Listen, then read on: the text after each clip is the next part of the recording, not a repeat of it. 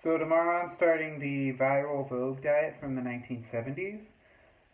Wish me luck because I read a couple articles online and the people who did them, they got like real bad. They were like throwing up and like crying and we'll see how it goes. If you don't know what it is, what it is is for breakfast, it is a glass of wine, a cup of coffee, and a hard-boiled egg.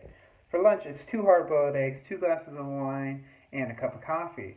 For dinner, it is a steak that is only five ounces and cooked with lemon and pepper, and then a cup of coffee, and you finish the bottle of wine. Now, the diet promises that you can lose five pounds in three days, so let's get the official weigh-in.